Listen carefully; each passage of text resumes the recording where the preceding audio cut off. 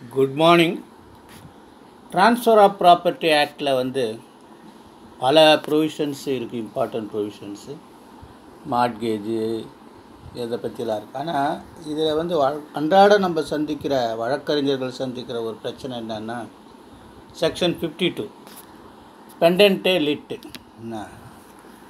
அது வந்து ரொம்ப முக்கியமான ப்ரொவிஷன் அன்றாட நமக்கு அது ஃபிஃப்டி த்ரீ ஏ அது வந்து retaining the possession when agreement was executed அது ஒரு ப்ரொடெக்ஷன் இருக்குது ஃபிஃப்டி டூ என்ன சொல்லுதுன்னா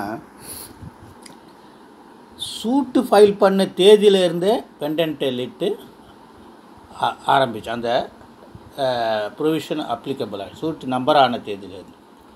ஒரு வழக்கு நிலுவையில் இருக்கும்போது அந்த வழக்கு சம்பந்தப்பட்ட சொத்தை யார் வாங்கினாலும் வாங்கக்கூடாது விற்கக்கூடாதுன்னு ஒரு அந்த செக்ஷன் சொல்லலை. வாங்கினாலும் அந்த வழக்கின் முடிவை பொறுத்து தான் அதை வாங்கியவருடைய தலையெழுத்து விற்றவருடைய தலையெழுத்து இருக்குன்றது தான் அந்த டாக்டர் ஸோ இதை வந்து தெளிவாக புரிஞ்சுக்குங்க. SK Kumarasamy Gounder versus சௌந்தரின்ற case two thousand eighteen two MLJ five eighty Madras அந்த ஜட்ஜ்மெண்ட்டு படிச்சுக்கோங்க. அதுக்கப்புறம் Ananthammal versus M Ramakrishnan two thousand eighteen one CTC twenty four Madras இந்த ரெண்டு ஜட்ஜ்மெண்ட்டை படிச்சிங்கன்னா அந்த pendent lite lis pendens pendent lite lis pendens என்ற doctrine வந்து இதில் அப்ளிகபிள் ஆகுது. இதை நீங்கள் நல்லா படிக்கணும். இப்போ இதில் வந்து இதை எக்ஸ்டென்சிவாக பார்க்கணுன்னா என்னென்னா ஏதாவது அக்ரிமெண்ட்டு லீஸு இது எது போட்டாலும் அது ஆட்டோமேட்டிக்காக நான் வந்து போனஃபைடு பர்ச்சேஸரு நான் இதை மாதிரி இது இவருக்கு விற்கிறதுக்கு உரிமை இல்லைன்றதுனால நான் வாங்கினேன். என்ன இவங்களுக்கு அந்த உரிமை இல்லைன்னு சட்டம் தெரிஞ்சு தான் நான் வாங்க இதெல்லாம் ஒன்றும் வேலைக்கு ஆகாது. இது எல்லாமே நீங்கள் வந்து இது லிஸ்பெண்டன்ஸ் இது வந்து ஒரு கேம்பிளிங் மாதிரி.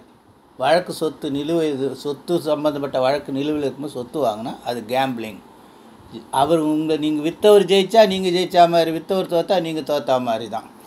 அதுக்கப்புறம் ஃபிஃப்டி த்ரீயில் வந்து ஒருத்தரை வந்து த ஒருத்தர் வந்து நம்ம மேலே கேஸ் போட போகிறாரு அதை கேஸோ இல்லை அவர் நம்மகிட்ட பணம் வசூலிக்க போகிறாருன்றதை அவரை ஏமாத்துறதுக்காக ஒரு சேல் டீடு போட்டிங்கன்னாலோ அது வந்து ஏதாவது நீங்கள் எலினேஷன் எனி என்கம்பரன்ஸ் பண்ணாலோ எலினேஷன்னா பெயர் மாற்றம் சொத்து மாற்றம் அடமானம் எல்லாம் ஏலினேஷன் வரும். என்கம்பரன்ஸ்ன்றது வந்து அதனுடைய பதிவுகள் என்கம்பரன்ஸ் ஆகும். சார் இதுக்கு எல்லாமே ஃபிஃப்டி த்ரீ வந்து ரெஸ்கியூ வருது. இது ரெண்டுத்தையும் நீங்கள் படிச்சுக்குங்க. இங்கே ஃபிஃப்டி த்ரீக்கு வந்து N Murugesan versus Siva. Two thousand eighteen two Law Weekly two thirty eight இந்த ஜட்ஜ்மெண்ட் இருக்குது சரி இதெல்லாம் இருக்கட்டும் சுவாரஸ்யமான கேஸ் என்ன? ரோமானபுரி நாட்டில் வந்து அரசாங்கத்தினுடைய முதல் அரசர் வந்து அகஸ்டஸ்.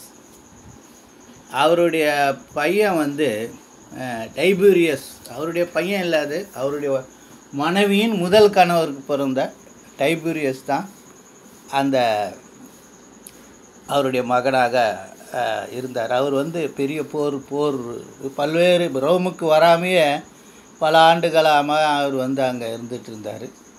அகஸ்டஸ் தன்னுடைய பேர குழந்தைங்களை வந்து ராஜாவாக அறிவித்தார் அதுக்கப்புறம் காலப்போக்கில் அவங்களும் இறந்து போயிட்ட பிறகு இவருக்கு உடம்பு சரியில்லை. இவர் என்ன பண்ணுறாரு கடைசியாக வேறு வழி இல்லாமல் தன்னுடைய இதர பிள்ளைகளை இவர் அழிச்சிருவாருன்னு இவரை ராஜாவாக ஆக்கிடுறாரு. கொஞ்ச நாள் ராஜா தான் மறுபடியும் போயிடுறாரு. இது அதெல்லாம் சுவாரஸ்யமான விஷயம் இல்லை. சுவாரஸ்யமான விஷயம் எதுன்னு கேட்டால் இவர் காலத்தில் வந்து கன்னி பெண்களை எல்லாம் இவர் வந்து மரண தண்டனைக்கு உள்ளாக்கி செஞ்சிட்டு இருந்தாராம்.